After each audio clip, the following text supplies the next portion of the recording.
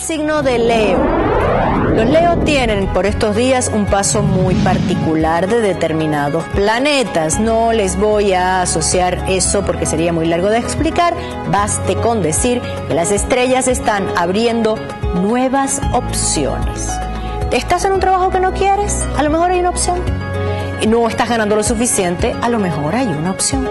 Los planetas, los asteroides están combinados para darle nuevas opciones. En el planeta Plutón hay una de esas lunas que representa las nuevas opciones. Se llama Kerberos, es el perro de tres cabezas.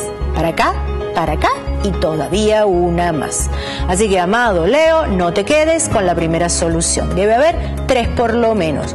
Una a la derecha, una a la izquierda y, ¿por qué no? Una más. Por cierto, Leo, ese perro que además representa a los cánidos, que son enemigos de los felinos, que son tus animales, habla también de una opción, de pactar con los enemigos. Así que hasta un trato judicial puede solucionarse por estos días si Leo se sintoniza en que hay más soluciones de las que él mismo ve a primera vista.